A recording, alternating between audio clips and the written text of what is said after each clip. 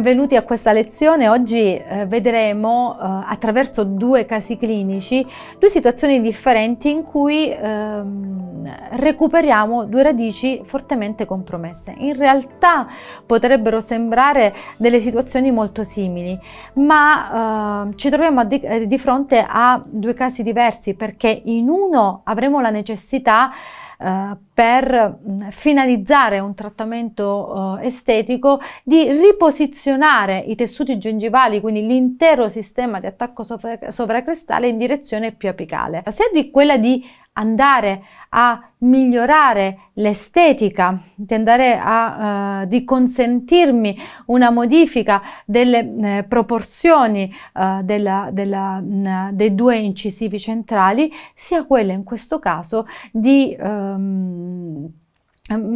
di crearmi i presupposti per andare a uh, espormi quei margini fratturati profondi sul 21, di ricostruire il moncone e di eh, rifare la corona non solo sul 21 ma anche eh, sull'11. Facendo questo quindi passerei da una proporzione del 95% a una proporzione del 75% che è più coerente, più armonica, più estetica eh, nella paziente.